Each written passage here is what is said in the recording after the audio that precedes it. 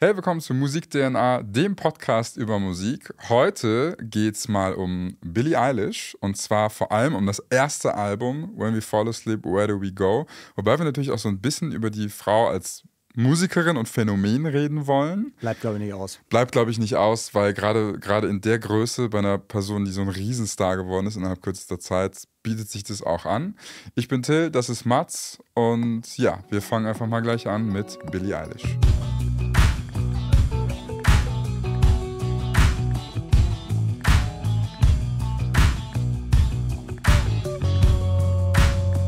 Folge präsentieren wir euch in Zusammenarbeit mit unserem Sponsor, dem Mikrofonhersteller Shure. Ihr hört uns auch die ganze Zeit über Shure-Mikrofone, das SM7B. Die Mikrofone und den Link zur Website von Shure findet ihr nochmal unter dem Podcast verlinkt. Wie eben schon gesagt, Billie Eilish ist ja irgendwie nicht nur eine Sängerin und eine Musikerin und Songwriterin, sie ist ja auch wirklich, also schon eine Pop-Ikone geworden innerhalb ja. von ein paar Jahren. Ja. Das so zwischen dem ersten Album, also das erste richtige Album, das war soweit ich weiß 2019 und jetzt für 2024 kam gerade das Neuere raus, das ähm, Hit Me Hard. Hit Me Hard, Hit and Me Hard and Soft. und das sind fünf Jahre mit drei Alben und sie ist halt einfach so zum Megastar aufgestiegen. Ja. Binnen eines Wimpernschlags gefühlt. Alles gewonnen, Bond-Song gemacht, damit ja. bist du eigentlich auch schon durch. Höher konntest du kaum noch kommen. Vier Grammys in einem Jahr abgeräumt, zwei Oscars. Äh, für beste Filmmusik und das alles in fünf Jahren, beziehungsweise ja. in vier Jahren. Das war alles bis letztes Jahr ja. noch. Also es ist unglaublich, was die Frau für eine Karriere hingelegt hat und die ist halt erst 22. Mhm. Also es ist schon echt Wahnsinn. Und ich, wir haben es so ein bisschen uns überlegt, wir wollen erstmal über, also Billie Eilish so ein bisschen natürlich das Frame, mhm. wo die herkommt, was so die Hintergründe sind. Ähm, dann über das erste Album sprechen, weil das schon auch, man muss sagen, das Album ist, das sie groß gemacht hat, aber natürlich auch einfach so ein bisschen aufgeweicht ist, nicht nur darauf, darauf mhm. fokussieren, weil die Karriere eben noch relativ jung, aber eben schon so groß ist. Ja, ich finde es halt so krass, wenn du das so aufzählst, dass die eigentlich schon, also es ist ja nicht nur ein mega Durchbruch, das ist ja einfach, du fängst oben an und bleibst da. Ja. Und das ist also auch auf so einem Level, wo es mir fast ein bisschen unangenehm war, das zu verfolgen, weil ich dachte, das, das arme Kind, ähm, weil du plötzlich nicht nur so im Rampenlicht stehst, sondern auch, und das sagtest du ja gerade eben schon, weil sie eben auch so eine Ikone geworden ist, ne? weil sie so über ihre Musik hinaus plötzlich so viel, in Anführungszeichen, Verantwortung getragen hat, ähm, dass ich das aus dem Blickwinkel zum einen sehr faszinierend finde, aus dem anderen Blickwinkel aber auch so ein, ich nenne es wieder mal den Nickelback-Effekt, weil es ist so dieses, dieses, es, man ist schon fast genervt davon, dass sie dann jetzt noch, keine Ahnung, den Grammy kriegt, oh hoppla, sie kriegt dann noch den Bond-Soundtrack, man hört sie dann noch hier, sie, Hot Rotation mit Bad Guy war einfach, es war so krass omnipräsent, diese Frau. War doch überall. Sie war wirklich überall und ist ja auch noch ein Stück weit überall ähm, dass ich das, es ist schon, es ist ein Stück weit einzigartig. Ich finde, wir haben immer so, es gibt natürlich viele, viele Beispiele, so keine Britney Spears, äh, Christina Aguilera, so diese, diese Ikonen äh, in, in, in diesen Bereichen, die finde ich aber alle nie, ich nenne es jetzt ganz böse, diese Tiefe erreicht haben, weil Billie Eilish für mich immer so ein bisschen aus diesem Underground-Kinderzimmer in dem sie wahrscheinlich auch noch lange gewohnt hat, ja. ähm, irgendwie rausgekommen ist und dann plötzlich da war ich, wo du dann gerade dann noch gesagt hast, also 2024 hat, ist jetzt, 22 äh, ist sie erst jetzt zum Zeitpunkt jetzt gerade immer noch. Genau. Ähm, ihr Bruder, über den wir sicherlich auch gleich noch so ein bisschen reden können, ist, glaube ich, ein bisschen älter. Der müsste jetzt irgendwie so 24, 25 oder sowas gewesen sein. Das ist, glaube ich, so Mitte, Ende 20. Mitte, Ende 20, der ähm, ja auch mit durch die Decke gegangen ist. Und das ist, glaube ich, müssen wir, wenn wir über Billie Eilish reden, müssen wir auch über, über den Bruder immer so ein bisschen reden. Ich kann mich erinnern, wenn wir vielleicht so ein bisschen über ihren Werdegang sprechen, weil der ist ja noch gar nicht so lang das ist ja so absurd. Wir reden hier wirklich über eine Künstlerin, die zwar schon lange Musik macht und auch, auch schon äh, lange Songs veröffentlicht, aber die natürlich äh, mit ihrem ersten richtigen großen Album 2019 rausgekommen ist, alles abgeräumt hat und seitdem in, in einer Regelmäßigkeit Musik veröffentlicht, die vielleicht natürlich im Kontext vom ersten Album immer so ein bisschen, bisschen anders gewertet wird, aber die Erwartungshaltung ist natürlich auch eine, eine, wahnsinnig große und dann mehren sich natürlich auch die Stimmen, die eher enttäuscht sind, weil was willst du von einem Album erwarten, das nach einem, nach einem wahnsinnig gefeierten Album äh, irgendwie veröffentlicht wird? Das ist immer so eine, ähm, so eine schwierige Sache. Ähm, das erste Album, muss ich aber sagen, habe ich erst sehr spät nachgeholt, nicht 2019, als es rausgekommen ist, ähm, sondern erst, ich glaube, 2018 2021 oder 2022 kann es auch gewesen sein, weil mir der Song Bad Guy so sehr irgendwann auf den Sack gegangen naja, voll, verstehe ich. ähm, weil der auch, wie ich finde, nicht so richtig repräsentiert, was sie, was sie musikalisch macht, sondern es ist, finde ich, ein, ein pfiffiger, flockiger Popsong gewesen. ähm, der wahnsinnig ins Ohr gegangen ist. Ich weiß, dass meine, meine Frau damals noch Freundin mir gesagt hat, ah, äh, weißt du, wie dieser eine Song heißt, wo diese Geister im Hintergrund singen? Ich war so, ah, okay. so, und das war so irgendwie, irgendwie diese Melodie, die, die, äh, und ich wusste auch erst nicht, was sie meint, und dann irgendwie nach drei, vier, fünf Tagen, wo der im Radio dann immer mehr aufgetaucht ist, äh, war, war das dann klar. Aber der hat sich so bei mir eingebrannt und ich habe dann irgendwann das Musikvideo dazu gesehen und das war, wo ich schon sagte, ah, okay, es ist ein bisschen anders, gutes Marketing. Ja. Gutes Marketing, weil wird ein lustiges Video und ähm, äh, sie auch irgendwie anders präsentiert, aber das hat bei mir nicht gereicht, um das Album wirklich zu hören. Das hat echt gedauert, weil ich nicht so ganz verstanden habe, dass sie deutlich mehr als Bad Guy ist. Es ist nicht ein One-Hit-Wonder gewesen. Ich finde es auch interessant, weil gerade wo du das gesagt hast, dachte ich mir auch, dass das ist so wieder ein klassischer Fall von der bekannteste Song repräsentiert eigentlich nicht die musikalische Tiefe vom Artist. Das haben wir, finde ich, oft. Mhm. Also es gibt viele Bands, die so eine Hitsingle hatten oder einen Song, für den die wirklich bekannt sind. Mhm. Und dann hört man sich aber so das restliche musikalische Werk an und denkt sich so, okay, das hat ja, das ist ja eine ganz, was ganz anderes. Also so, ne, wir werden auch nochmal eine extra Folge über Nickelback machen. Oder aber Eiffel 65 fällt mir gerade. Genau, aber so zum Beispiel bei Nickelback, die haben ja so ganz krasse, so, so, so post-grungige Popballaden ja. geschrieben. Aber das ist ja eigentlich auch eine Heavy-Metal-Band. Die haben ja auch unfassbar harte Songs, die halt nicht im Radio kommen. Ja. Also so, wenn man an Nickelback denkt, hört man halt an Rockstar. Ja. Und nicht an Follow Your Home. Und werden wir nochmal eine extra Folge besprechen und bei Billie Eilish, und das fand ich halt so interessant, weil ich habe Bad Guy so ein bisschen ausgeklammert tatsächlich, weil ich bewusst wenig Radio höre. Ja, also weil mich Radiomucke oft einfach ein bisschen langweilt und mir auch ein bisschen auf die Nerven geht. Und ich denke mir, wenn ich, ich habe nur eine gewisse Zeit am Tag, die ich auch Musik aktiv hören kann. Mhm ähm, weil ich ja auch beruflich Musik höre und wenn man dann nach dem, nach den, dem Tag, wo man schon Musik gehört hat, dann nochmal Musik hört, das mm. es wird einfach weniger. Ich kann nicht dann nochmal acht Stunden Musik hören. Ähm, und die Zeit fülle ich halt lieber mit Musik, die ich halt gut finde. oder die ich mir halt bewusst auswähle, sage ich mal. Und ich habe dann aber 2019, als das Album gerade rauskam, da habe ich noch, da habe ich gerade noch so in Hamburg gewohnt.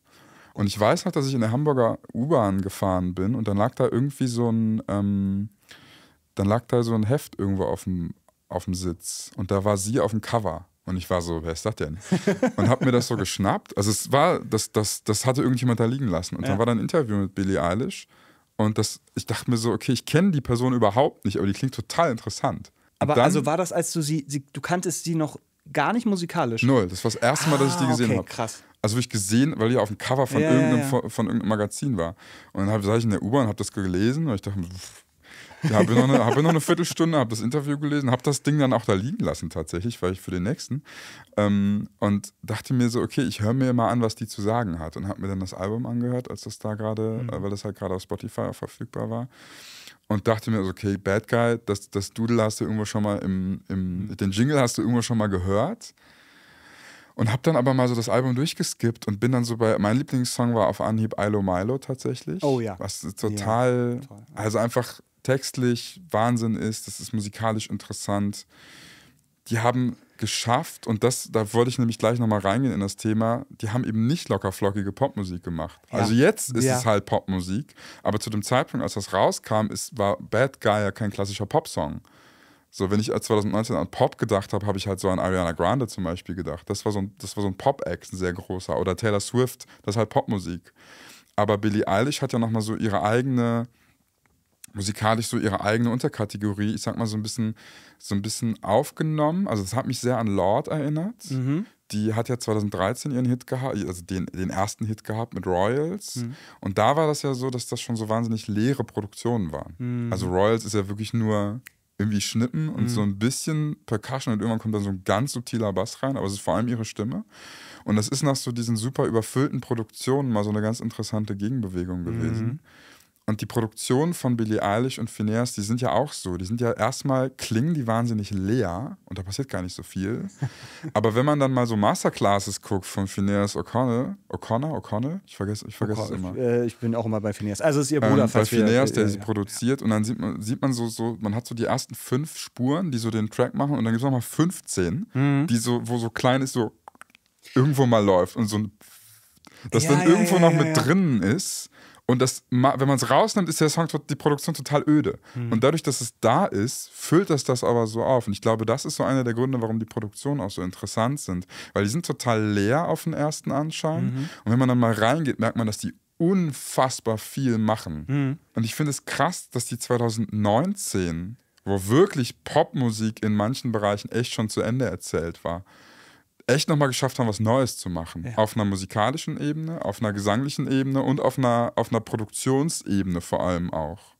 Aber da würde ich direkt, ich, die Frage, die, das finde ich interessant, da möchte ich gerne mal rein. ähm, na, weil du sagst, was Neues. Also klar, wir haben einmal das Technische von der, von der Produktion, da würde ich aber vielleicht gerade später noch ein bisschen drüber reden, weil was, als du das Album dann gehört hast, ähm, mhm.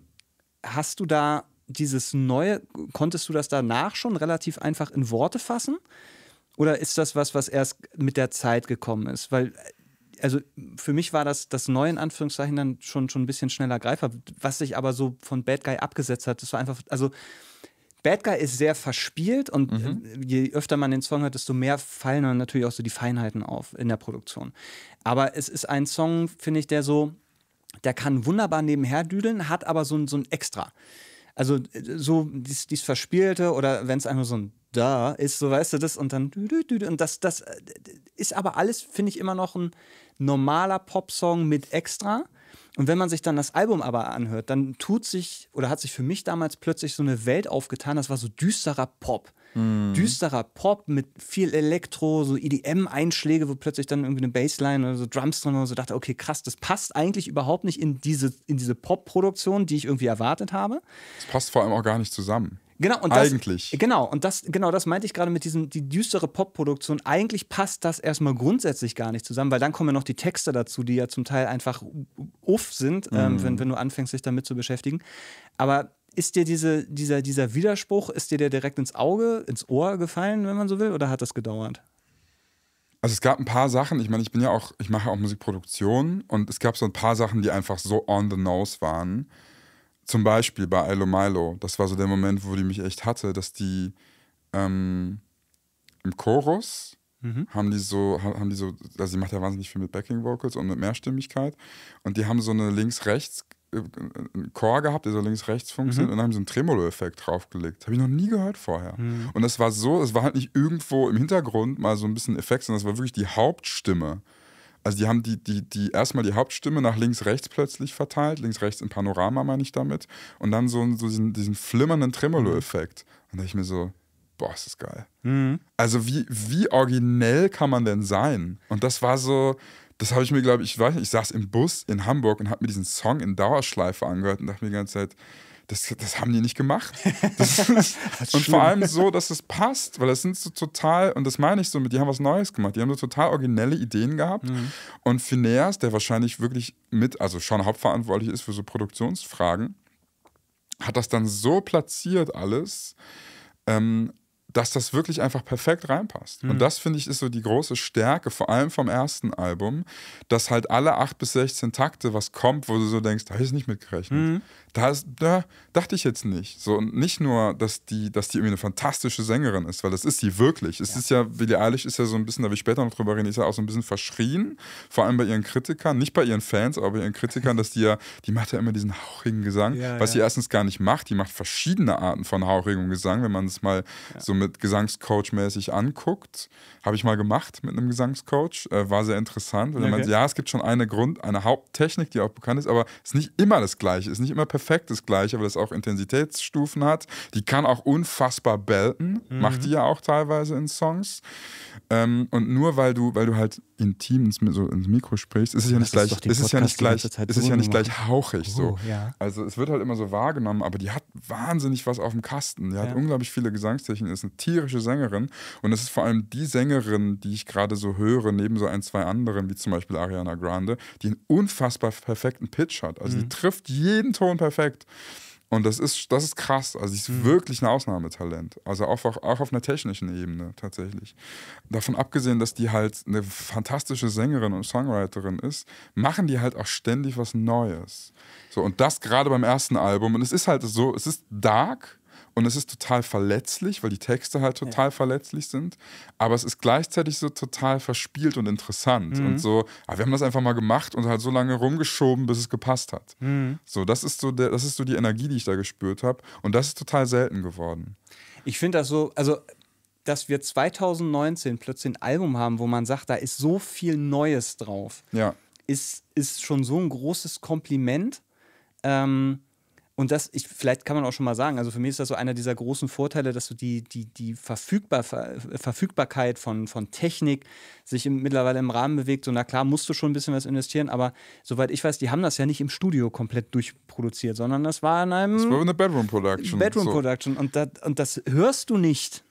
Genau, und es gab auch so, es gab dann natürlich auch so, so, das wurde halt im Nachhinein alles versucht zu relativieren, so, naja, die haben das dann ja nochmal zum Mastering geschickt und dann das Master und der Mastering-Ingenieur war so, ich habe die Bässe ein bisschen angepasst und dann war das fertig. Ja. So, also das war halt, der hat halt die Sachen gemacht, damit es nochmal wieder aus einem Guss ist, ja. damit das Album halt gemastert ist und damit die, damit so halt technische Aspekte irgendwie DC Offset und dass sowas nicht passiert.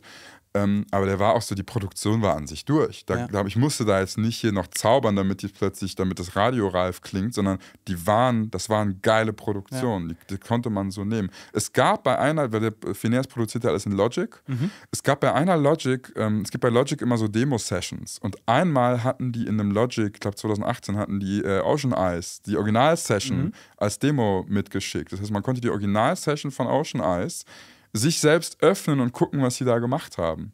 Und das ist nicht nur alles in Logic produziert, das war auch alles mit Logic Stock nachgebaut. Also das ist alles Plugins, die einfach in der Software verfügbar sind, ohne jetzt irgendwie nochmal für 1000 Euro einen Synthesizer gekauft ja. zu haben.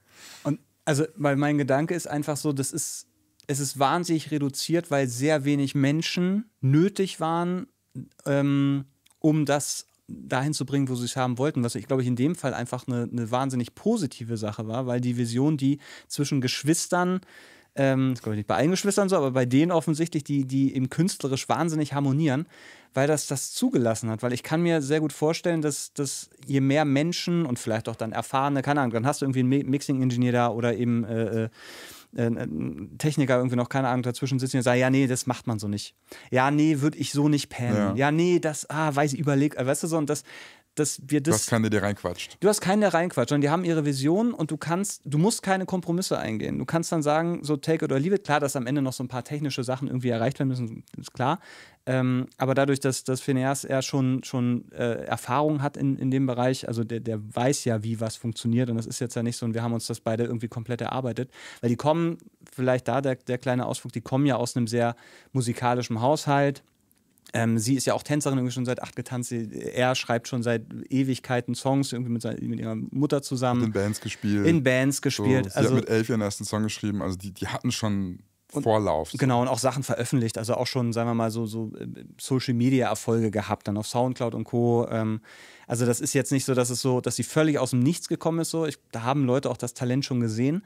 Aber dass du diesen Sprung in, in den Massenmarkt mittlerweile schaffen kannst, ohne ein riesen Label dabei haben. Zumindest, ich meine, klar, die haben dann ein großes Label, ähm, aber dieses, dass bis zu dem Punkt, wo sie den Vertrag dann unterschrieben haben, ähm, dass das eigentlich schon alles da war und dass da nicht noch irgendwie ein Riesenteam und so. Ich finde, das sind so, das ist so ein super Beispiel, wie, wie schön das auch ist, dass alles verfügbar ist. Weil man kann das auch alles nicht so schön finden, da gibt es ja auch genug Punkte für, aber ähm, das finde ich jetzt so im Nachgang so eine, so eine schöne Erfolgsgeschichte und so ein, äh, dass, dass du auch in der heutigen Zeit, wo gefühlt alles schon tausendmal da war, dass du trotzdem noch, wenn du eine Vision hast und diese Vision erarbeitest und vielleicht noch ein bisschen Talent hast, dass du dann ähm, plötzlich neue Impulse schaffen kannst.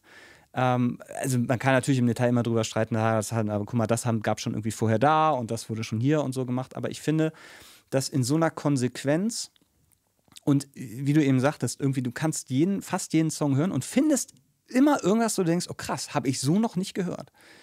Ähm, ich hatte das, als ich dann ähm, You Should See Me in a Crown.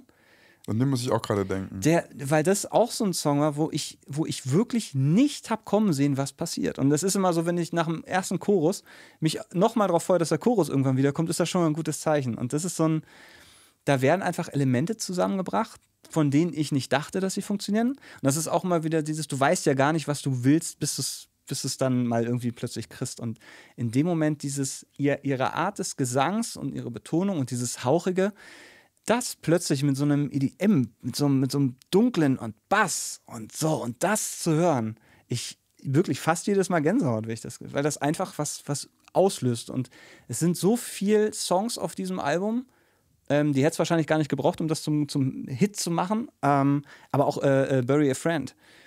Es, also auf mehrfacher Ebene, du hast dieses musikalisch, aber natürlich den Text auch noch, aber das ist, da passiert, je öfter man den Song hört, desto mehr passiert. Und deswegen finde ich das so spannend, als du gesagt hast, sie wirken, eigentlich sind sie erstmal leer. Und je öfter du das hörst und auch wie du es hörst, ne, wenn du es irgendwie im Bus mit Kopfhörern hörst, in deinen Kopfhörern, kriegst du, glaube ich, nicht so viel mit, als wenn du es dann mal wirklich irgendwie auf, auf Heimanlage mit ein bisschen Raum auch noch dazu hörst und dir Zeit nimmst. Ähm, hätte ich von also ein Album, wo einfach dann Bad Guy drauf ist, überhaupt nicht erwartet. Ja, genau, weil Bad Guy wirkt ja erstmal, ich sag mal in Anführungszeichen, ohne das jetzt abwertend zu meinen, so ein bisschen beliebig. Das ist halt ja. so ein Radiosong, aber der wird halt als Radiosong wahrgenommen, weil er die ganze Zeit im Radio läuft. Und mhm. der hat ja auch Tiefe. Also der hat ja, ja auch, der hat ja auch, ich finde den, ich finde den textlich nicht so tief wie andere Songs von ihr. Das ist halt so ein bisschen verspielter. Ähm, aber was ich halt so was ich halt so spannend fand, auch an diesem Album, so Billie Eilish steht ja so für, für also eine starke Verletzlichkeit, weil mhm. die unglaublich offen ist in ihren Texten. Und ich finde, und ich habe das so ein bisschen verfolgt, die hat ja unglaublich viel Hate auch gekriegt, direkt von Anfang an. Weil die ist halt irgendwie so 17 und dann hat die ihr erstes Album gemacht und bla bla bla. Und die wird halt so, ähm, die wird halt so als Sprachrohr ihrer Generation auch ein bisschen verstanden. Mhm. Also Generation ich glaube, es ist gerade so Übergang Generation äh, Z und die Alpha-Generation, so, also die, die jüngere Generation.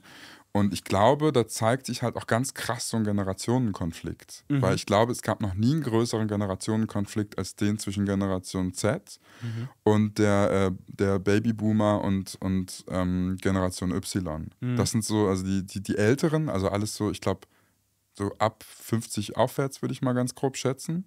Und die junge Generation, die sind wertemäßig so völlig an zwei Enden des Spektrums. Mhm. So, weil die, den Boomern und den, den, ähm, den, den, also Generation, nee, Generation X, nicht Generation Y, Generation X sind die, die nach den Boomern kamen. Mhm. Äh, die Gen Generation Y sind die Millennials, das sind wir. Und die ich Generation. Nicht, wir, weil, doch, doch, doch. Okay, cool. Ich gehöre dazu. Ich habe hab nachgeguckt. Ja, okay, geil. Ähm, die Generation X und die Boomer, die haben so andere Werte gehabt ja. als, die, als die Generation Z und die sind halt auch ganz anders aufgewachsen. Also die Boomer sind halt die, die im Zweifel nicht wissen, wie man eine Mail öffnet und die Generation Z sind halt die, die im Zweifel mit digitalen Endgeräten groß geworden sind. Mhm. Und die sind halt in völlig unterschiedlichen Zeiten aufgewachsen, weil die Boomer halt auch noch so, das war so Nachkriegsjahre und Generation Z sind halt aus deren Blickwinkel halt einfach auch so schnell mal ein bisschen verweichlicht und sehr überanspruchsvoll. Mhm. Also das ist ein ganz anderes Thema jetzt als, als die musikalische Ebene.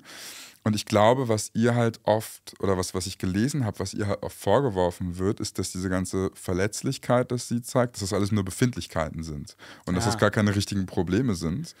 Und ähm, also jetzt so gut ja, in ja. einem Satz zusammengefasst, ich sehe das nicht so, ich zitiere das nur, dass das halt so, dass das halt so eine hochgezüchtete Popkünstlerin ist, die halt irgendwie mit ihrem ganzen whiny Popkram irgendwie ähm, jetzt in den, in, auf Platz 1 der Charts gelandet ist. Und das mhm. ist es halt gar nicht, weil ich habe mich mal so ein bisschen auch mit der, mit der Historie von Billie Eilish beschäftigt. Die hatte schon ein paar Schicksalsschläge ja. in ihrem Leben und die hatte es schon auch nicht leicht. Ja.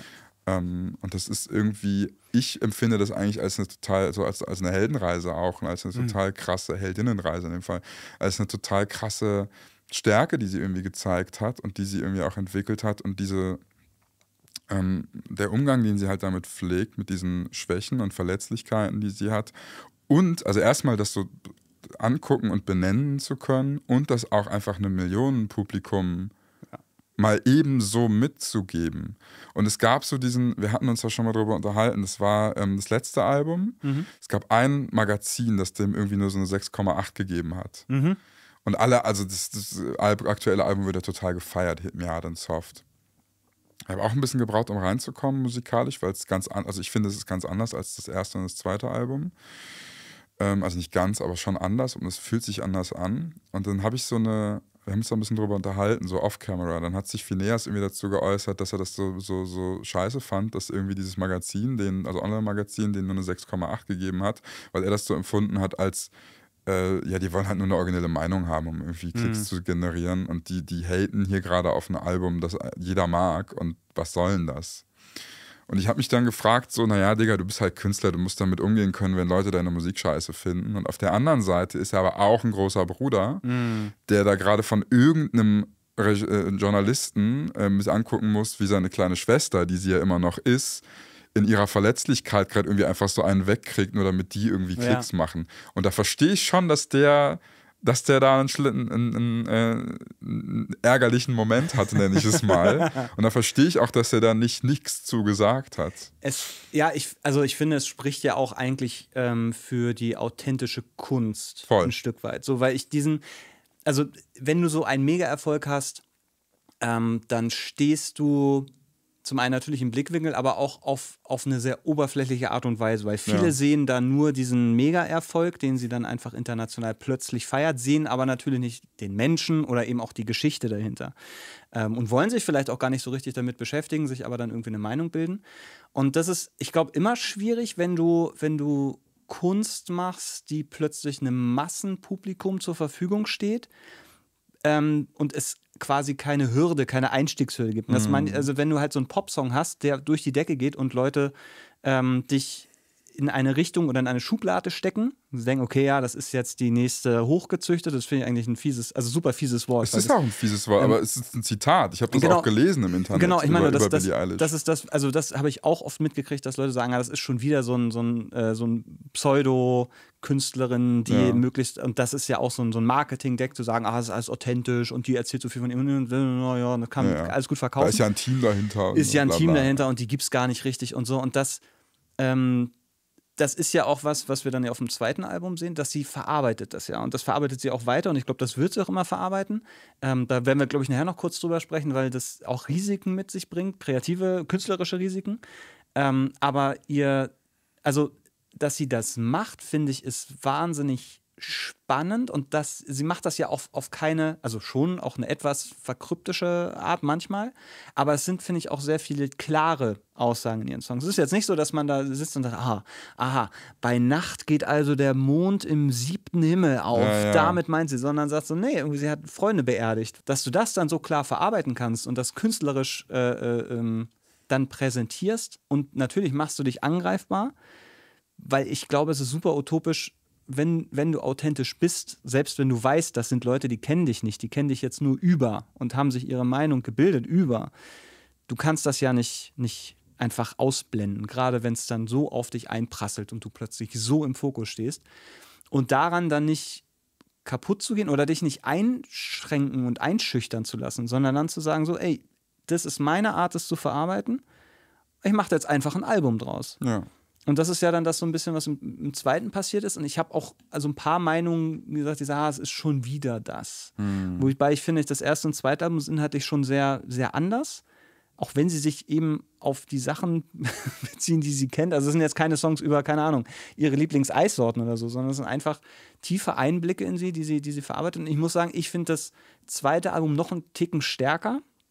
Auch musikalisch, auch wenn es nicht mehr diesen krassen Wow, das ist irgendwie Neufaktor hat, sondern aber ich finde, sie hat noch mehr. Zweite Album ist halt nicht mehr neu. Ne? Ist halt nicht mehr neu, aber sie hat viele Elemente mit reingebracht, wo ich gesagt okay, da sind so ein bisschen ihre musikalischen Einflüsse noch ein bisschen klarer und die werden aber kombiniert mit eben diese, ich nenne es jetzt einfach mal düster Pop. Elementen. Nennen wir es Dark Pop. Nennen wir es Dark Pop, das ist ein guter Begriff. Nennen wir es Dark Pop. Und das funktioniert für mich noch ein Stück besser, weil das wirkt noch ein bisschen, ich mag das eigentlich zu sagen, ah, es ist jetzt irgendwie reifer geworden, weil ja, weiß ich nicht, ob das irgendwie was aussagt.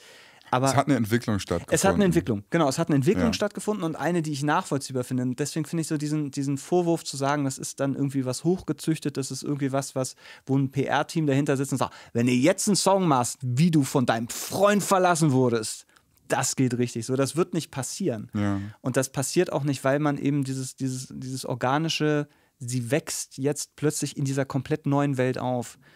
Ähm, und, und das unter Herausforderungen, die können wir uns halt nicht vorstellen. So, das ist so, also zum Glück. Manchmal ist es ja so, das, das, das von früher, dieser Ruhm und Reichtum und plötzlich bist du erfolgreich und so. Und das, dass diese, diese, diese Seite, ähm, was das mit dir macht, dich so zu zerreißen und du irgendwie dich selber dann auch trotzdem noch finden musst und irgendwie auch sagen kannst, okay, das bin ich in der Phase, wo du, wo wir alle noch wachsen. Also ich glaube, jeder, der in dem Alter war, hat plötzlich gemerkt, ah, mit 18 dachte ich, jetzt bin ich erwachsen, da ist mir mit 20 aufgefallen, ja, nee, Digga. Und mit 22 ist dir aufgefallen, okay.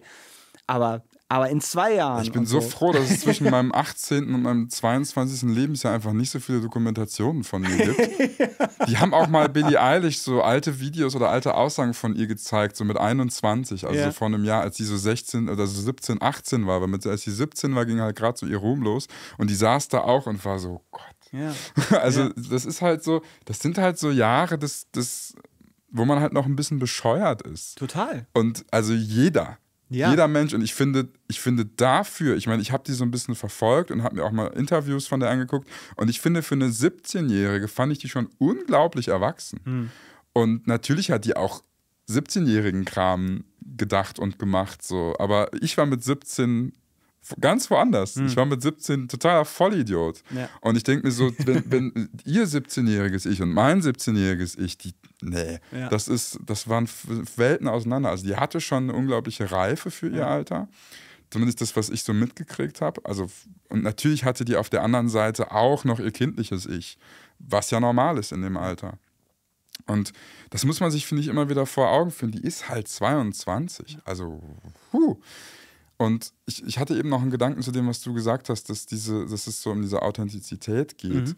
Und das finde ich halt krass. Und das ist, glaube ich, auch, und da, da wollte ich nochmal so den Generationenkonflikt mit reinbringen, weil mir das irgendwann mal irgendwie so aufgegangen ist, das ist ja auch eine ganz andere Art, Musik zu hören mittlerweile. Also mhm. bei Künstlern mhm. mittlerweile geht es viel um Identifikation. Gerade bei weiblichen Künstlern habe ich den, oder also bei Künstlerinnen habe ich den Eindruck, da geht es viel darum, wie identifiziere ich mich mit der Person. Mhm dass es so viele Frauen in der Musik gibt, ist ja eh eine relativ neue, sehr begrüßenswerte Entwicklung. Aber früher, sag ich mal so 70er, 80er, da gab es ja so diese, diese Heroes, diese Musiker, mhm. überwiegend Männer. Und das waren eher so Vorbilder. Das waren eher so jemand, mhm. den man irgendwie als, als, als, so, als den Star sehen kann. Yeah. Und da ging es gar nicht um Identifikation. Da ging es irgendwie, also die, die Identifikation hat dann eher mit der Fanbase sozusagen stattgefunden. Mhm. So, also wir, wir haben, hätten dann eher darüber connected, du hörst hörst die Band, ich höre die Band auch. Ja, aber niemand von uns wollte so sein wie Kurt Cobain. So, das war so, weißt du, also das. das war auch jetzt ein Vorbild. Nee, also es meint das, aber das war ja immer so. Es war auch bei, ja, bei The ja, Who oder so. Ich wollte ja nicht sein wie der Gitarrist von The Who oder wie der Sänger. Ich, das war ja einfach nur was so, ich habe die Musik gehört und wir haben darüber connected, dass wir die gleiche Musik hören. Mhm. Und heute, und das ist, glaube ich, auch so ein generationaler Unterschied. Generational, ist jetzt man, ich sag das jetzt so. Ähm, dass halt die, die jüngere Generation, dass es denen viel um Identifikation mit den Menschen mhm. geht, unter anderem halt auch den Musikern und Musikerinnen. Und mit Billie Eilish identifizieren sich halt unglaublich viele Menschen und mhm. auch junge Menschen. Und ich glaube, das, also diese Probleme, die dann auch so schwer nachvollziehbar sind, dass das offensichtlich Probleme sind, die eine ganze Generation betreffen. Mhm. Ich glaube, das trägt nochmal zu diesem Generationenkonflikt bei und warum viele, nicht alle, aber viele ältere Menschen halt sich so ein bisschen schwer damit tun. Mhm. Aber das finde ich spannend, weil ich diese, diesen, ähm, also ist natürlich auch schwierig, als jemand, der langsam auf die 40 zugeht, weißer Cis-Mann in Europa, sich dann mit Billie Eilish zu identifizieren. Ich glaube, da gibt es ja. so ein paar Schwierigkeiten. Für mich auch schwer. ja, ähm, aber ich, also mich fasziniert das eben aus diesem, aus diesem, also zum einen künstlerischen, aber zum anderen auch dieses, wie gesund ist das für jemanden, der, der ähm, so offen damit umgeht, in, in, in diesem Rampenlicht aufzuwachsen ähm, oder erwachsener zu werden. Das ist so ein bisschen, also, weil wir Beispiele haben, also Michael Jackson äh, ist vielleicht so ein Extrembeispiel, einfach so sagt, so, der auch noch drankommen wird. Der übrigens. auch noch drankommt. Nicht heute, aber hat, in, einem anderen, in einer anderen Folge. Genau, und wenn man sich da einfach ähm, so ein bisschen den Menschen hinter dem Künstler anguckt und man irgendwann so merkt, oh, oh, oh, Oh. Ja, das war schwierig. Das war sehr, sehr schwierig und ich. Aber ich glaube auch ein sehr, eine sehr andere Geschichte als Billie Eilish. Absolut, genau. Aber mir ging es eher um dieses ähm, zum Erfolg verdammt und mhm. die Öffentlichkeit verdammt. Und das ist ja vielleicht auch, es ist ja ein, was heißt vielleicht, ich glaube nicht, dass das eine bewusste Entscheidung ist. Billie Eilish hat nicht gesagt, ich will berühmt werden, deswegen mache ich Musik, sondern hat gesagt, ich mache Musik. Und jetzt ist sie damit berühmt geworden. Ähm, ich glaube, es gab mal so einen Mitschnitt, dass Phineas ihr das versprochen hat, dass er sie zum größten Popstar der Welt machen will. Ja, dann ist der quasi schon. Der hatte einen Plan. Der hatte einen Plan. Ähm, ich, also mein Gedanke ist nur, wie wird das in 20 Jahren sein? Also wie wird man zurückgucken? Wird man sagen, oh, das da hat, es ist aber schon, schon, schon krass gewesen und wie viel Kontrolle hat sie darüber? Ähm, und vor allen Dingen auch, wie viel Karriere vielleicht andersrum, ist der Preis zu hoch für die Karriere, die sie hat. Also, dass sie sagt, sie, sie, stellt sich so in die Öffentlichkeit, sie wird auch so zu einem Vorbild, trägt wahnsinnig viel Verantwortung mit sich. Ist so, sie wird, also ne, allein dann zu sagen, sie ist eine Style-Ikone. Wenn Menschen plötzlich sagen würden, Till, wusstest du übrigens, dass du in Südamerika eine Style-Ikone bist, dann, dann würde ich mich sehr wundern. Würdest du dich sehr wundern, aber dieses alleine das erzeugt ja einen gewissen Druck und das ist natürlich von Mensch zu Mensch irgendwie ab, äh, abhängig. Ähm, und deswegen, ich kann das halt nicht beurteilen, wie sie, wie sie das fühlt, aber ich kann es aus ihrer Kunst rausnehmen und aus ihrer Kunst, da lese ich schon sehr raus, dass sie da sehr dran mitarbeitet ähm, und dass sie das auch sehr beschäftigt. Das ist jetzt gerade mit dem, mit dem dritten Album, wo ich noch nicht so drin bin, ähm, wo ich so das Gefühl habe, okay, du beschäftigst dich sehr mit dir und das ist auch gut so aber ist vielleicht irgendwo der Punkt, wo, wo das nicht mehr in die Öffentlichkeit, in deine Kunst gehört. Also ohne, dass ich das werte oder so. Aber es ist einfach nur, nur, nur ein Gedanke, den ich habe, eine Frage, die ich habe. Inwiefern ist es die, der, ist es Erfolgsdruck, dass man dann quasi da sitzt und sagt, okay, ich muss mich jedes Mal emotional ausziehen, um Erwartungen zu, zu erfüllen, um irgendwie eine Kunst zu generieren, die ich selber jetzt irgendwie definiert habe weil das ist ja so ein bisschen ihr, ihr Ding. Also schonungslos, offen. Offen, also nicht, nicht nur irgendwie das alles einfach nur zu nehmen, sondern sie hat ja auch viele Songs, wo sie einfach dann auch genau das Thema diesen auch anprangert und sagt so, ey, das, ich bin nicht euer Freund. Ähm, wenn du äh, äh, ein Problem damit hast, wie ich mich anziehe, wie ich mich gebe, dann ist das dein Problem, nicht meins. So. Und das sind so, also die, die geht damit auch sehr offensiv um. Aber das ist so ein bisschen das, wo ich, wo ich so ein manchmal mulmiges Gefühl einfach habe.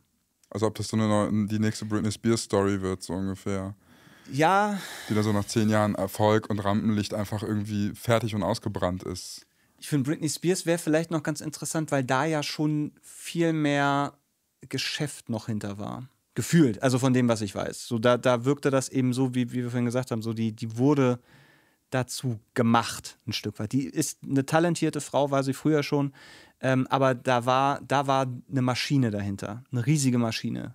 So, und ja, voll. Das ist, glaube ich, bei ihr anders. Ich glaube, ich weiß auch, was du meinst bei Billie, in Bezug auf Billie Eilish. Ich habe auch den Eindruck, weil ich auch das so ein bisschen verfolgt habe, zum Beispiel als die den Soundtrack gemacht haben zum Barbie-Film, mhm. was ja ein toller Song auch. Und da habe ich ein Interview zugesehen mit Phineas und Billy, wo er auch erzählt hat, wir haben seit Wochen Sachen ausprobiert und haben am Album geschrieben und es war alles scheiße. Es war mhm. alles, hat nichts richtig gezündet. So. Und die waren in so einer Phase, wo irgendwie nichts richtig gelaufen ist. Was halt so ist, wenn man kreativ arbeitet. Manchmal macht man halt drei Wochen was und am ersten Tag von Woche vier guckt man sich das alles an und denkt, so kannst du alles wegschmeißen. Mhm. Und es ist, ist, halt alles nicht gut. So. Und das ja. passiert halt. Und das ist manchmal, manchmal brauchst du dann, manchmal ist an Tag zwei von Woche vier kommt dann die Idee, die dich über die nächsten drei Wochen bringt. Mhm. Und dann hast du ein gutes Ergebnis. Aber so ist es halt manchmal.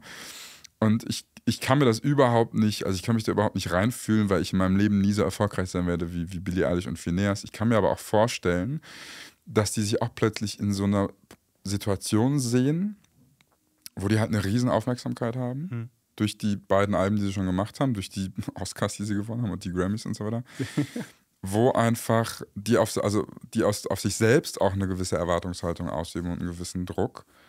Und ähm, ich habe den Eindruck, die handeln das ganz gut mhm. und die machen schon immer was Neues. Zum Beispiel, was beim jetzigen Album was neu war, dass die einen Schlagzeuger, einen Live-Schlagzeuger mit dabei hatten. Mhm.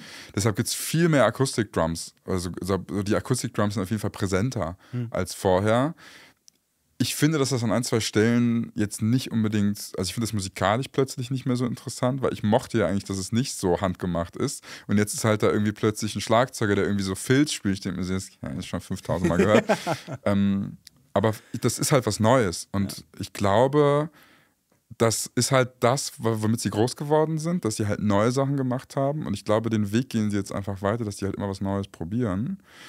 Und bei ähm, Hit Me Hard and Soft, das finde ich ein interessantes Album, weil ich habe es auch das erste Mal gehört und habe mir also ich überhaupt nicht gefühlt. Und habe es dann nochmal gehört und ich wollte halt mich so ein bisschen reindenken und auch so ein bisschen dem eine Chance geben. Und mittlerweile ist es das Album, das ich am allermeisten gehört habe von Billie Eilish, okay. weil es aber auch so ein Liebe auf den zweiten Blick Album ist.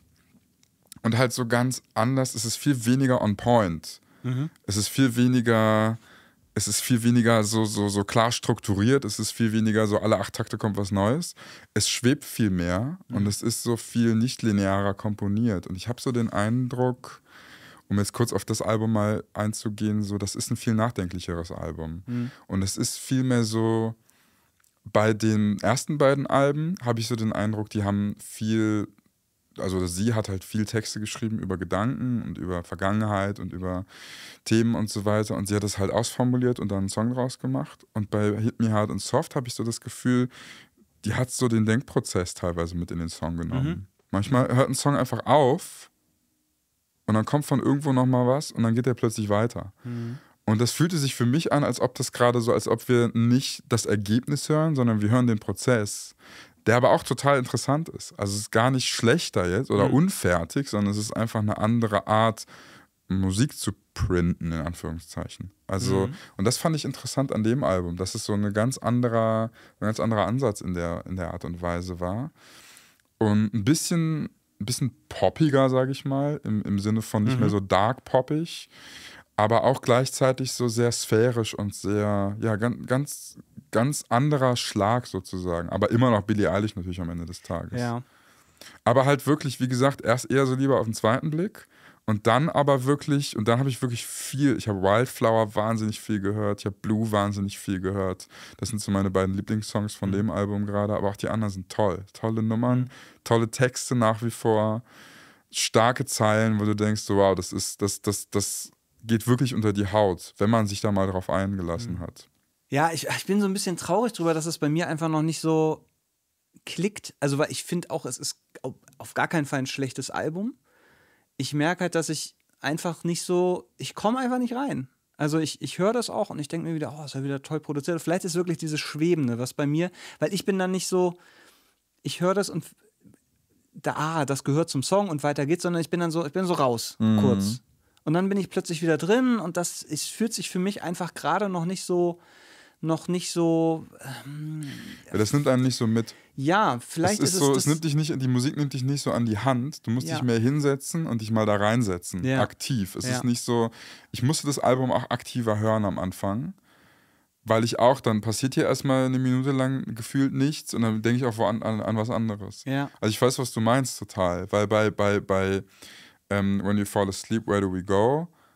Das war so, ich höre das und dann kommt, man wird so von, von einem, von der einen Idee in die nächste getragen. Ja, ja. Und bei Hit Me Hard and Soft war es wirklich so, ich habe mich hingesetzt, ich habe auf jedes Element aktiv gehört und dann habe ich es verstanden. Es war eine ganz andere Form von Hören auch tatsächlich, von Hörerfahrung und von, was das, die Musik auch von mir gebraucht hat, damit ich sie verstehen kann. Und das finde ich überhaupt einen interessanten Gedanken, wie viel, wie viel wird von dir als Hörer, als Hörerin erwartet, wenn du das konsumierst.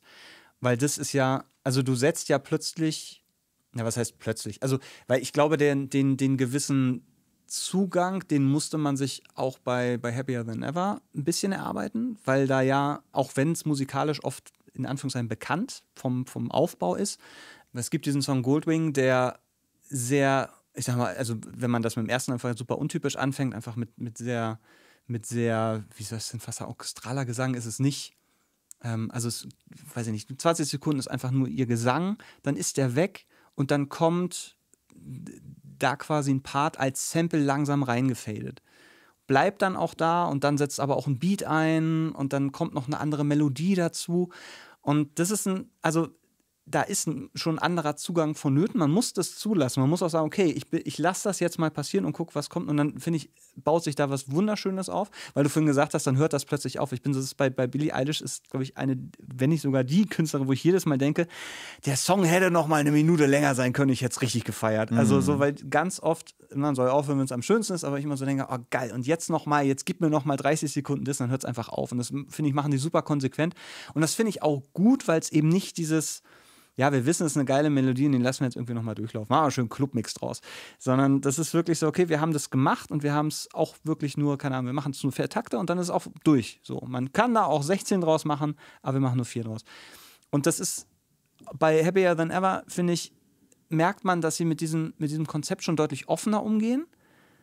Ähm, aber auch gleichzeitig wieder, wieder sehr bewusst. Und das fehlt mir, glaube ich, jetzt so ein bisschen. Weil ich verstehe vielleicht noch nicht so ganz, was das, was du vorhin schon sagtest, und sagst, okay, dieser Denkprozess, den musst du einfach vielleicht ein bisschen mitnehmen.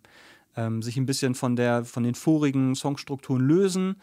Ähm, und dann funktioniert das anders. Und da bin ich, da bin ich leider noch nicht. Und das ärgert mich so, weil ich sehe, dass da ein total mhm. cooles Album irgendwie da ist, aber ich bin, ich höre das und so, na, ah, ja, mh. Hm. Man kann es halt manchmal nicht erzwingen. Ja. Also es ist auch, ich, ich kenne das auch. Ich habe auch zum Beispiel ich habe lange gebraucht, um zum Beispiel Pink Floyd zu verstehen. Mhm. Ich habe immer wieder angesetzt und irgendwann 2017 habe ich es dann verstanden.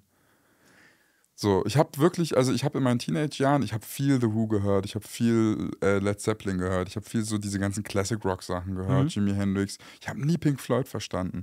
Ich musste erst 26 werden, bis uh. ich dann uh. gecheckt habe, äh, irgendwie, ich habe dann, ich habe dann ähm, Dark Side of the Moon einfach mal komplett angemacht und ich lag im Bett und habe einfach mal das Album durchgehört und war dann plötzlich so, ah, man kann ja, also deshalb, ich finde, es lohnt sich auch immer, Filme nochmal zu gucken und Bücher nochmal zu lesen und ähm, Alben auch nochmal zu hören. Also ich höre tatsächlich Musik, ich habe so eine Liste an Musik, von der ich weiß, dass sie, dass sie ähm, gut ist, in Anführungszeichen. Ich habe sie halt bisher noch nicht verstanden. Das oh, ist zum Beispiel Johnny Mitchell und Kate Bush sind da noch mit drauf. Okay. Ich habe ich hab in meinen 20ern mal Johnny Mitchell gehört und dachte mir so, pff, Verstehe ich überhaupt nicht. Und dann vor ein paar Jahren habe ich nochmal Johnny Mitchell gehört und war so, ah, die hat, da ist irgendwas. Mhm. Und das, ich, ich nehme das immer mal wieder so raus. Und dann so einmal im Jahr höre ich rein und denke mir so, vielleicht verstehe ich es jetzt. Mhm. Und jetzt habe ich gerade ein Aurora-Album gehört, das neue, wo wir auch nochmal drüber reden werden. ja. Und da sind ganz viele, ganz viele so Kate Bush-Referenzen irgendwie. Und ich dachte mir so, wow, jetzt finde ich es plötzlich geil. Ich muss wohl nochmal Kate Bush hören. Vielleicht, vielleicht gefällt mir das jetzt auch.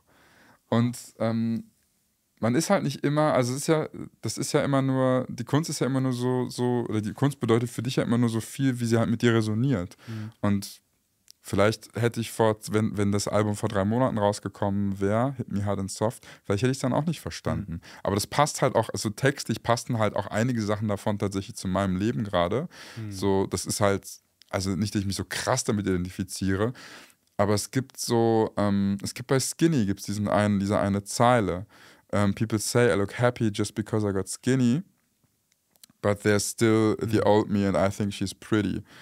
Um, und da geht es halt so drum, so, es ist so ein bisschen in die Vergangenheit gerichtet und es geht so viel darum, zu sich selbst zu stehen, ähm, sich irgendwie auch unabhängig von seinem, von seinem aktuellen Status irgendwie, also es ist natürlich irgendwie schön, dass Leute das jetzt so wahrnehmen, aber ich fand mich damals auch schon gut mhm. und ich finde mich jetzt auch gut und das ist irgendwie so eine, das hat irgendwas, das hat mir irgendwas gesagt. So, nicht, dass ich jetzt irgendwie, ich, ich bin nicht so auf mein Gewicht irgendwie fokussiert, also es hat jetzt gar nichts damit zu tun, mit Skinny sein oder nicht, aber so irgendwie diese, diese, diese Idee, die dahinter stand, das hat irgendwo bei mir einen Knopf gedrückt. Und mhm. da, da habe ich noch viel drüber nachgedacht. So. Und ähm, da, das passt aber halt eben gerade zu meinem jetzigen Leben einfach. Mhm. Und vielleicht ist das in drei Monaten auch vorbei und dann fühle ich den Song gar nicht mehr.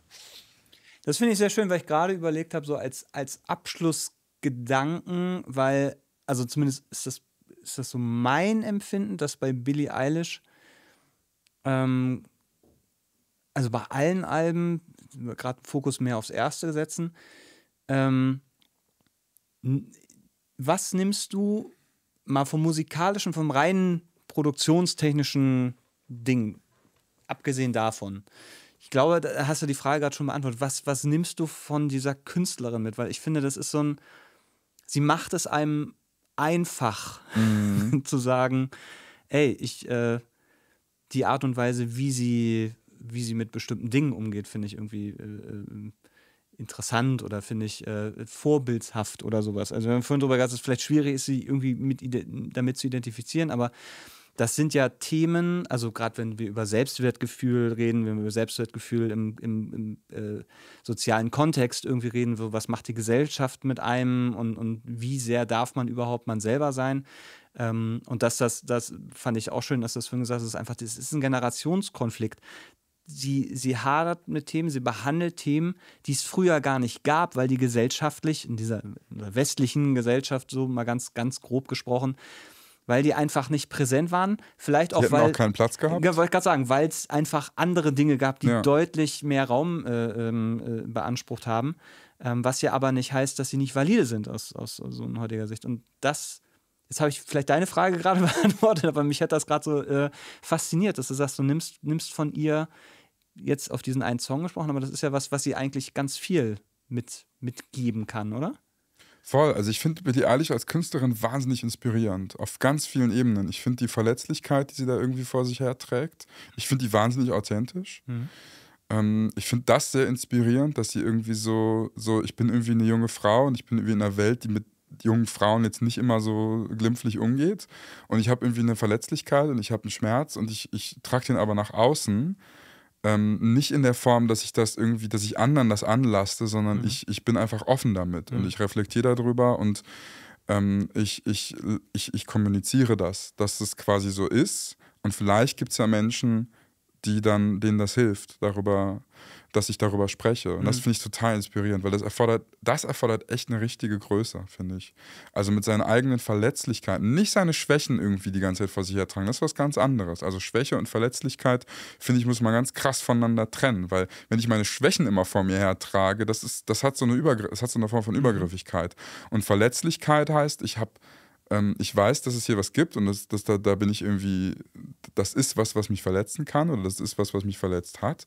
Und ich bin da aber offen mit um, und versuche da eben Stärke draus zu generieren, aber für mich. Und ich erwarte auch nicht, dass jemand anders das für mich löst, sondern es ist einfach nur hier, ich weiß, das ist, das ist eine Verletzlichkeit und ähm, ich teile das jetzt. Mhm. Und das schafft natürlich auch eine totale ähm, Connection auch erstmal mit, mit den Leuten, die, die auch, ich sag mal, folgen, klingt immer so sektenmäßig, aber die sie irgendwie auch, also die, die, die halt Fans sind. Und, und da habe ich mich immer mehr bei erwischt. Ich habe viel ich habe doch relativ viel Content geguckt von den beiden, von Billy und Phineas. Und die reden auch viel drüber, was ihr Struggle ist. Die reden nicht nur drum, so, ja, dann haben wir den Song geschrieben und dann war das geil und dann haben wir irgendwie noch einen Hit gemacht, sondern die sitzen da und Phineas ist so, mal, wir produzieren Musik und manchmal ist einfach der schlimmste Scheiß, den man überhaupt machen kann. Weil diese Frustration, ich, ich kenne auch, also ich persönlich, ich also, ne, mhm. ich kenne auch nichts, was frustrierender ist, als einen Tag lang an einem Song zu schreiben und der wird einfach scheiße. Ich habe letztens zwei Wochen, ah, nicht zwei Wochen, aber so eine Woche habe ich an einem Song geschrieben. Jeden Tag Gitarre genommen, was gespielt, irgendwie also Open D-Tuning, habe ein bisschen Text geschrieben, habe eine Melodie gemacht, habe dann irgendwie den Song geschrieben und nach dem ersten Refrain ist mir aufgefallen, scheiße, den habe ich schon mal geschrieben. Also es ist einfach extrem nah an einem Song dran, den ich vor einem halben Jahr mal geschrieben ah, habe. Also die Akkordfolge ist zu ähnlich, die Melodie ist zu ähnlich, der Groove ist relativ nah dran. Ich war so, ah, Scheiße. Und es ist, es, es war echt, ich war so frustriert in dem Augenblick. Und, ja. den, und ich denk, man denkt halt immer, es geht nur einem selbst so. Und dann siehst du da Billy Eilish und Phineas sitzen und die sind so, nee, ist genau das gleiche Problem bei uns auch. Mhm. Und das hat mir so Mut gemacht in dem Augenblick. Also ich fand mhm. das so inspirierend zu, zu, wissen, die zwei, also wie erfolgreich kann man sein? So, so erfolgreich äh, zur Zeit. Und die haben genau den gleichen Scheiß. Die stehen morgens auf und wenn es mhm. ein schlechter Tag ist, dann hat man einfach keine gute Idee im mhm. Zweifel. Egal, ob man sich irgendwie zwei Stunden oder zehn Stunden hinsetzt. Manchmal ist einfach nicht. Ja. Und das finde ich total inspirierend. Und ja. ich finde diese, also ich merke immer mehr, so je mehr ich mich damit beschäftige, diese Offenheit und diese diese, ähm, diese Art, wie die halt mit ihrer Kunst und mit ihrem, mit ihrem ganzen Prozess auch umgehen, das, ich finde das wahnsinnig stark. Ja. Und ich gucke mir das gerne an, weil mir das immer ein besseres Gefühl gibt, als wenn ich, als wenn ich mir nicht angucke oder wenn ich mir ja. anderen Content angucke. Also ich gehe da immer mit einem besseren Gefühl raus, als ich reingegangen bin. Schon mal ganz gut. Es ist ja. nicht so, ich gucke mir das an und bin irgendwie frustriert, dass die so erfolgreich sind und ich nicht, ja. sondern ich gucke mir das an und denke mir so, das macht mir irgendwie Mut. Ja. Es ist, glaube ich, auch viel, und das ist vielleicht so mein Abschlussgedanke, dass es eben ähm, nicht hinter irgendeiner hinter Barriere versteckt ist. Mhm. Also, dass sie, weil, also ich kenne von denen jetzt nicht ganz so viel. Ähm, ich nehme das jetzt eher so ein bisschen auf dieses Menschliche, ähm, weil es ja oft Künstler, Künstlerinnen gibt, wenn man dann Interviews von denen sieht oder die im Studio sieht oder so. Ist ja mal ein ganz blödes Beispiel und sagen, ja, unser Sound ist so, weil wir haben ja diesen 20.000 Euro Synthi da und dann mm. haben wir den 12.000 mhm. und dann machen wir den das und dann, ja, und dieses Delay und dann so und so und so. Das ist hinter so, hinter so in dem Fall ist es einfach so eine, so eine finanzielle Wand. So, ja. du weißt, das kannst du nicht rekreieren. Ähm, und ich das, vielleicht hat sich das in den letzten, letzten Jahren auch ne, wieder so ein bisschen bei diesem Punkt, es ist einfach verfügbar. Jetzt ist es eher so das Wissen und der Umgang. Und nicht nur musikalisch, künstlerisch, sondern eben auch persönlich. Dass wenn, wenn ähm, sie offen darüber redet, warum sie wie was geschrieben hat, dass das natürlich auch Türen öffnet für, für, für Menschen, auch einen Umgang zu finden und zu sagen, okay, das, wenn jemand wie der, diese Person, die das so in der Öffentlichkeit auslebt, ähm, dann ist das was Reales. Also dann ist das, ne, wie du sagst, es passiert nicht nur dir so, sondern es passiert auch diesen Menschen so. Ähm, und deswegen finde ich, das ist eigentlich eine schöne Entwicklung, dass, dass so jemand wie Billie Eilish das dann auch beibehält also dann nicht irgendwann so diese, die Tür zumacht und sagt, ja, das bin jetzt ich und ihr seid da draußen, sondern trotzdem immer noch, wer reinkommen will, darf rein. Wer ein Arschloch ist, fliegt raus. So, das, das mag ich auch sehr, dass sie das halt mhm. halt benennt. So, das ist, dass sie ist verletzlich, aber nicht schwach. Und das finde ich, ist, hast du vorhin auch ganz, also diese, diese, man muss das differenzieren. Ähm, also ich, ich freue mich, dass es Billie Eilish gibt. Ich freue mich ehrlich gesagt auch ein bisschen drüber, dass echter ich da, Gewinn. Ein echter Gewinn auf jeden Fall. Und ich freue mich auch ein bisschen, dass, also ich persönlich, dass ich da Zugang gefunden habe auf einer Ebene. Ähm, vielleicht nicht so der, der, der als, als kreativer Mensch, aber ähm, ich mag sie sehr gerne. Alles, was ich von ihr, von ihr äh, und auch ihrem Bruder soweit äh, mitkriege, mag ich sehr gerne auf menschlicher Ebene. Und dass es auch immer noch Musik, neue Musik gibt, neue Kunst gibt, wo ich, wo ich höre und denke so, ho, da hätte ich jetzt nicht mit gerechnet. Da haben sie das, mal was Neues Da haben sie was Neues ja. gemacht. Das hätte ich, weil manchmal habe ich das Gefühl, ich bin so mit meinen Bands voll und da kommt nicht mehr viel Neues dazu. Und dann denke ich mir immer, warum soll ich denn jetzt die hören, weil ich doch Korn hören kann oder Limp Bizkit hören kann ja, ja. oder so, weil ne, das habe ich schon. Zum fünf Millionsten Mal, aber Zum, ist halt immer noch gut. Ist immer noch ist gut. Verlass drauf. Und macht es und das kenne ich und so und das war Billie Eilish wirklich, ich habe das gehört und dann halt später, nachdem ich das Album gehört habe, okay, da gibt es noch keine Schublade für, wo irgendwas drin sitzt. Und das fand ich sehr, sehr schön. Und ich fand es auch sehr, sehr schön, dass ich mit dir über Billie Eilish reden konnte. Gleichfalls. Schön, dass wir das mal gemacht haben. Ja, das. Weil es einfach, es ist einfach eine Ausnahmekünstlerin und ja. äh, die hat. Ja die hat sich ihren Platz in der Musikwelt so dermaßen erarbeitet und wirklich, also es ist fantastisch. Ich bin sehr gespannt, was noch kommt. Ja, das ich kann, es kann in alle Richtungen gehen. Ich kann mir vorstellen, dass die noch ein geniales Album machen. Ich kann mir auch vorstellen, dass sie erstmal drei Jahre Pause machen nach, dem, nach den letzten fünf. Ähm, wäre, es wäre alles verständlich. Ja. Ich finde es schön, dass wir über die quatschen konnten. Ja. Ähm, ich fand deinen Abschluss eben auch gut. Ich würde oh. da gar nicht weiter mehr, mehr zu sagen. Schön, dass ihr zugehört habt. Ist vielleicht, wollte ich auch noch sagen, wenn ihr vielleicht Billie Eilish nur von Bad Guys kennt oder nur diese Radiosongs oder so, da steckt viel drin. Man muss ein bisschen selber die Tür selber auch aufmachen. Voll. Dann lässt man vielleicht was rein, von dem man gar nicht wusste, dass man es braucht. Aber es lohnt sich auf ja. jeden Fall. Also ich bin sehr froh, dass ich dem, dass ich diese, dass jemand diese Zeitschrift da in der U-Bahn vergessen ja. hat. ähm, und ja, schön, dass ihr reingeschaltet habt. Checkt gerne die Links in der Beschreibung. Wir haben euch da noch ein bisschen Material verlinkt und checkt euch gerne die anderen Folgen. Nächstes Mal, weiß noch gar nicht, worum es nächstes Mal geht, aber wir werden noch ein paar machen zu Alben, die uns quasi in die DNA übergegangen sind. Und ich würde sagen, dann bis zum nächsten Mal, oder? Ich, äh, ich schließe mich in, inhaltlich komplett an, was du gesagt hast. Ciao. Ciao.